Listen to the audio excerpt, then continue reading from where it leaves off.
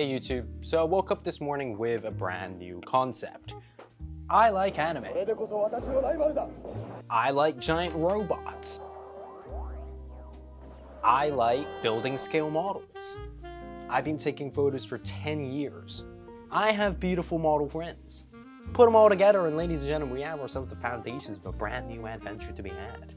So without further ado, let's channel your inner Bilbo Baggins and let's go!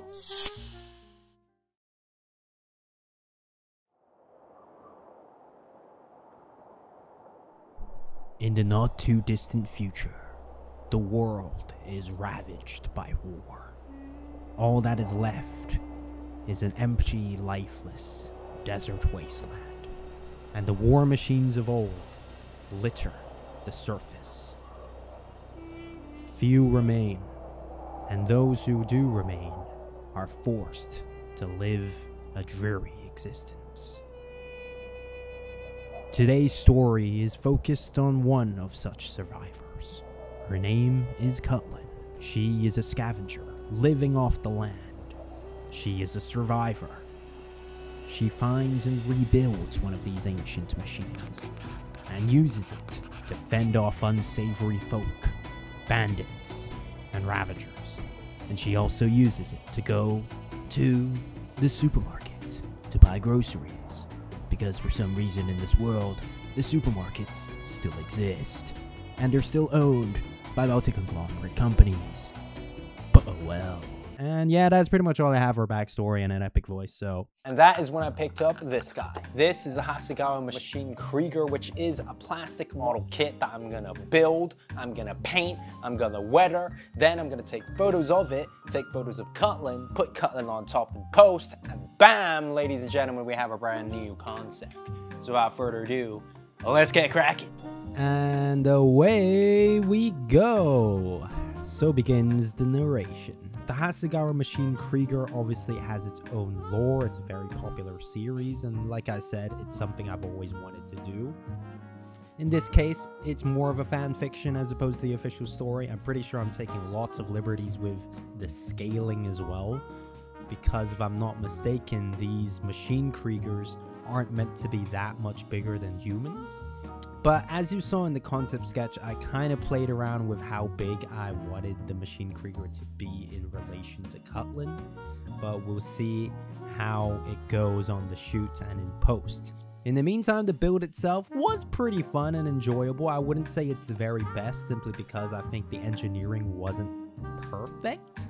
There were certain parts and sprues that needed to be modified in order for them to fit very weird and awkward sprue locations. It wasn't the very best of kits I've built, especially in comparison to something like Tamiya, but nonetheless, it was not bad.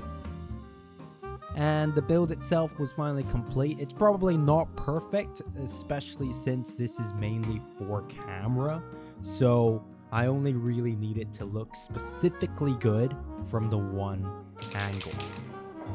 And now begins the painting process. I primed it first with a metallic gray, and then I proceeded to paint a khaki green base that I then painted over with pink.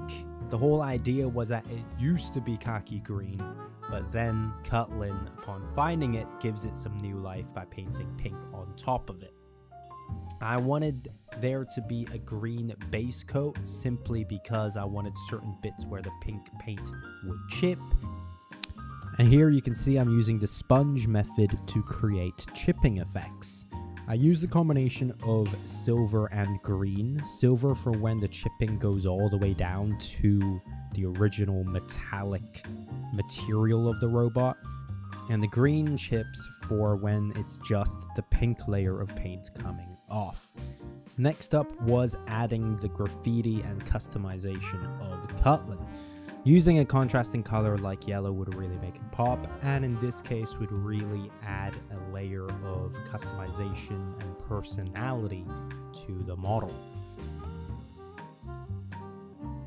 After that, it was basically adding in some grime and some rust effects, using oil washes and enamel washes to make the exposed metallic bits dirtier, grimier, and more weathered.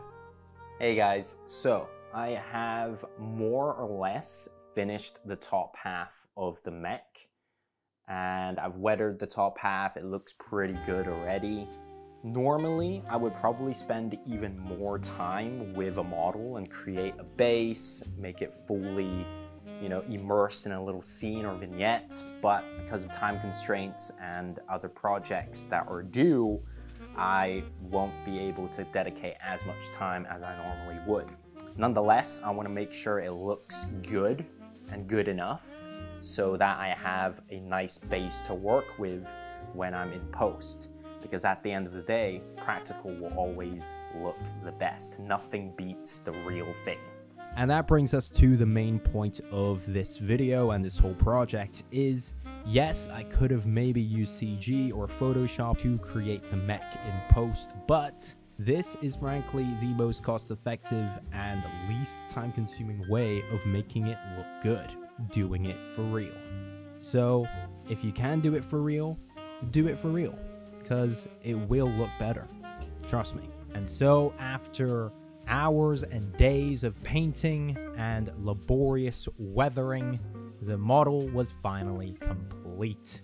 And like I said, it is definitely not my best work, but it just needs to look good for the photo and from a very specific angle. So with that done, I think it is finally time to get out of my golem cave and interact with actual human beings.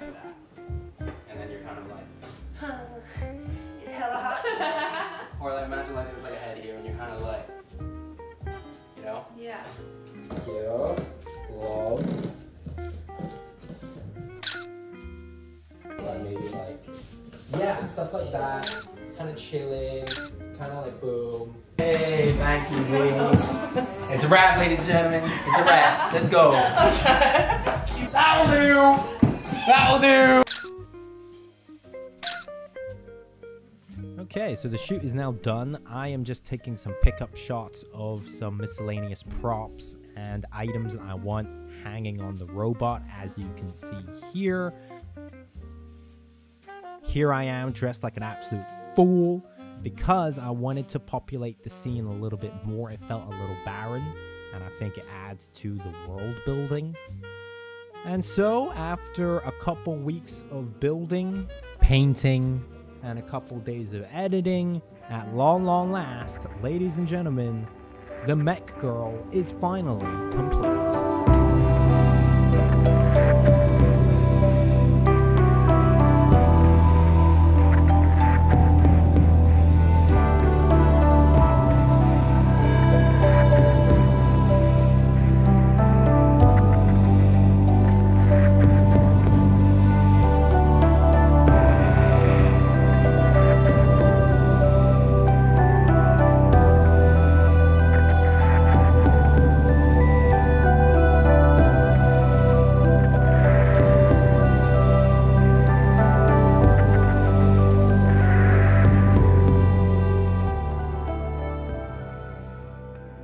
And here endeth another chapter. It's been a long and arduous road creating this guy. I hope you can see I put a lot of time and effort into each photo that I do and each video that I do. So if you did enjoy today's video, be sure to leave it a thumbs up and hit that subscribe button if you haven't already. And of course, to head over to socials or my website to see the full images and everything else. As always, I've been your boy Seb. Peace. On to the shelf you go, my friend!